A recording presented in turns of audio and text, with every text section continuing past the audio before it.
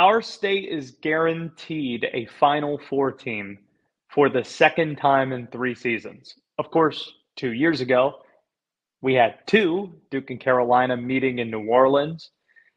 Now we've got an all 919 Elite Eight. Shout out to our guy, Ian Eagle, on the call for CBS. We gave him one note on the air earlier this week. Just so you know, it's called the 919, where Duke, Carolina, and NC State reside, all to the Sweet 16. And at the close of the broadcast tonight, he said, the 919 is well represented. He's right. NC State, Duke, in the Elite Eight, in Dallas. And before we get into that matchup, it's only right we hit on the games that we saw to give us this matchup late Sunday afternoon with a trip to Phoenix on the line. NC State Marquette was first. And this is the part that you have to remember if you're a Wolfpack fan. Yes, it's become cliche to say it's like 1983 all over again.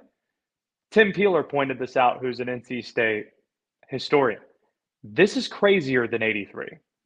83 was preseason ranked, that team. They were supposed to be really good. Then Dereck Whittenburg got hurt, and then they went on the run. In March, they didn't have as bad of a record at the end of the regular season as this NC State team did, going on, you know, four straight losses to close the year, and then having to win five in a row. Obviously, the ACC tournament wasn't that long at the time. This is different. It's truly unprecedented. That can be true while also saying the way that the pack is winning these games, not fluky. This is not a fluke. It follows suit today's game really with the run that we've seen throughout the eight. When you go through each of these games, how much of it is luck, what we've seen? How much of it is NC State catching breaks? Other than the first half against Louisville in the ACC tournament and the Michael O'Connell shot in the uh, semifinal against Virginia, there was all of this has been legit. State's been the right side in most of these games. And some of the stretches of the Oakland game, too, would probably qualify in that as well. The pack controlled Marquette throughout this game, out rebounded them convincingly.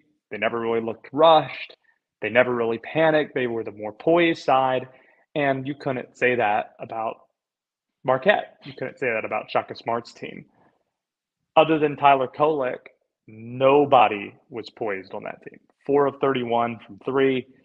It really is a whole new world, WD, that we're living in with this pack team. It's their first ACC championship since 87. It's their first Elite Eight since 1986. And you know what's fitting about that 86 year? That was Coach K's first Final Four with that recruiting class. So if you want to go back and ask yourself this question when was the last time NC State outlasted both Duke and Carolina in the same year? It's when they cut down nets in 1983.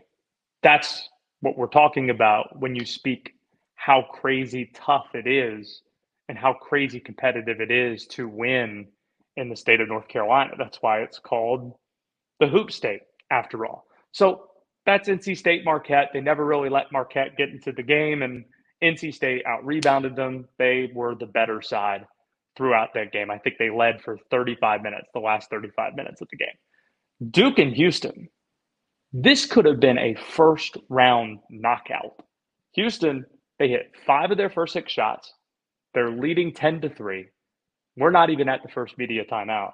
And Jon Scheyer calls timeout.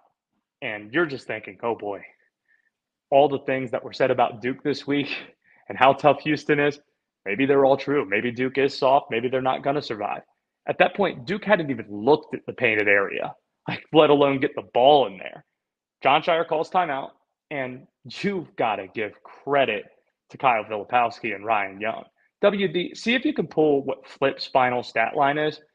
I'm pretty sure he finished with a double double. I know he was sitting on nine rebounds and he finished well over the number that we gave out on the show, over 14 and a half points. A tremendous game for him, but assists, rebounding, just taking body blows. It does seem like Houston had that approach that Rick Barnes in Tennessee had a year ago in Orlando when Duke got eliminated of they can't call fouls on every possession.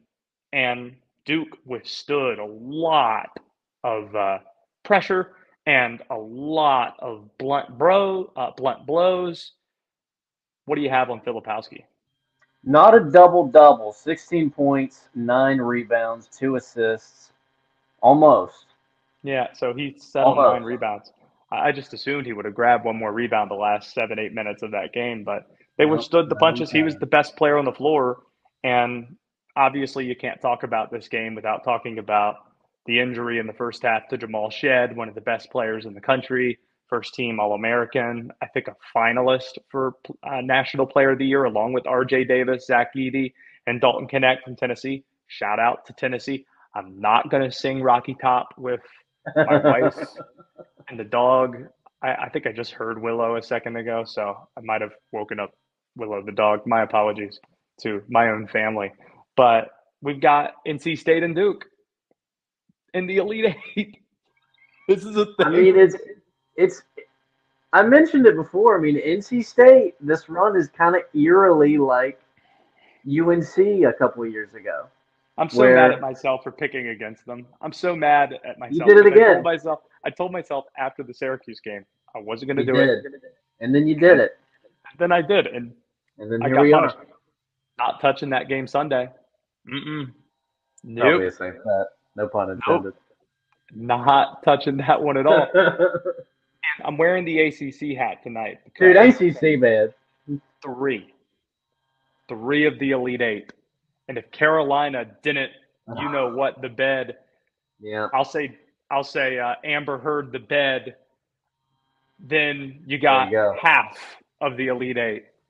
Clemson, little old Clemp facing Alabama tomorrow. And you've got Duke, NC State. Is this the biggest Duke NC State game ever?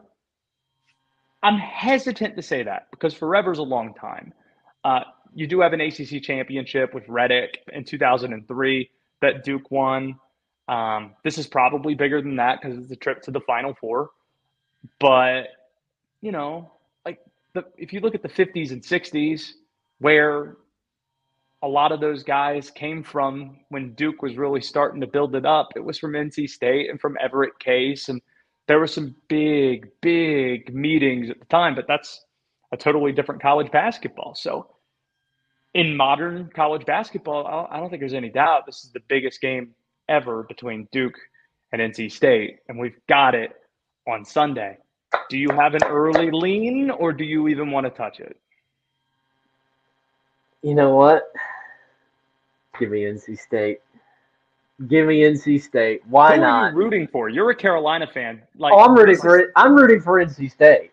Like the, this, must, this I'm must pulling for hell. Kevin Keatts. It does suck. This must it be really does Carolina suck. fans. Yeah.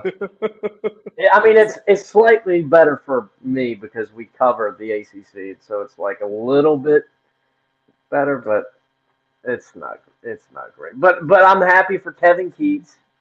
Keep the ice cream coming. I'd I'd love to see them go to the Final Four. His job oh. was on the line a few weeks ago. Hey, you remember when I was? Do you remember when I was being clowned in DC, and now Joe Ovies is telling me, "Oh, it's actually just spirited discussion." Okay, like when John, Jon Scheyer loses to NC State in the ACC tournament.